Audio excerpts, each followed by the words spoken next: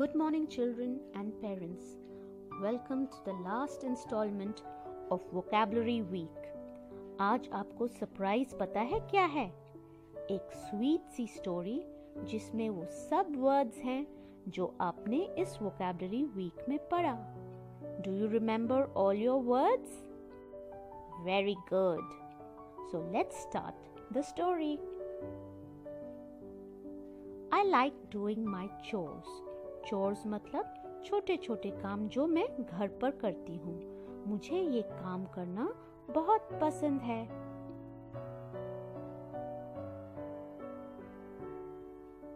When I do my chores, it helps mommy and daddy.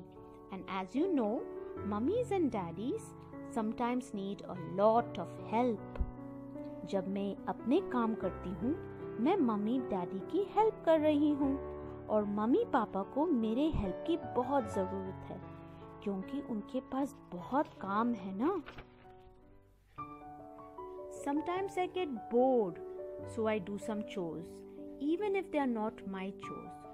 कभी कभी मैं घर पे इतनी बोर हो जाती हूँ कि मैं अपने काम के अलावा मम्मी के भी कुछ काम कर लेती हूँ जैसे कि जब मम्मी किचन में बिज़ी होती है मैं सारे वेजिटेबल्स धोकर रख देती हूँ Sometimes I have chores that I do not like to do. When that happens, I make up a silly game and that makes the chore easier. कभी कभी मम्मा मुझे ऐसे काम देती हैं जो मुझे करना पसंद नहीं है तब मैं उस काम को एक सिली सी गेम में बदल देती हूँ और वो काम मेरे लिए इजी हो जाता है आसान हो जाता है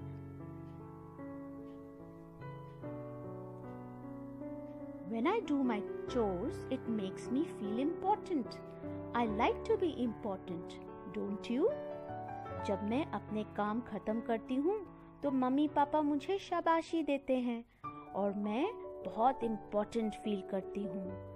आपको भी इम्पोर्टेंट फील करना अच्छा लगता है ना? Sometimes when all my chores are done, we go to the park or have other special times.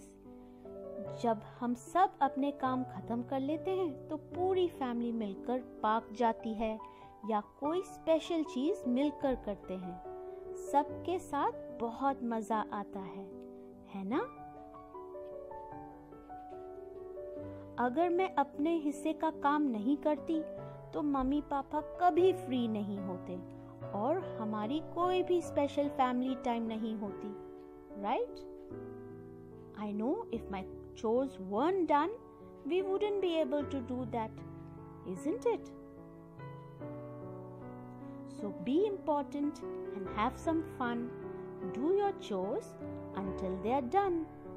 So घर पे अपने छोटे छोटे चोर्स को फिनिश करो और आप बहुत आपको बहुत अच्छा लगेगा क्योंकि आपको बहुत इम्पोर्टेंट फील होगा और आपको खूब मज़ा भी आएगा So, children, you will do your chores, right? So, kids, I hope you enjoyed this story. Please learn and remember your words. Bye.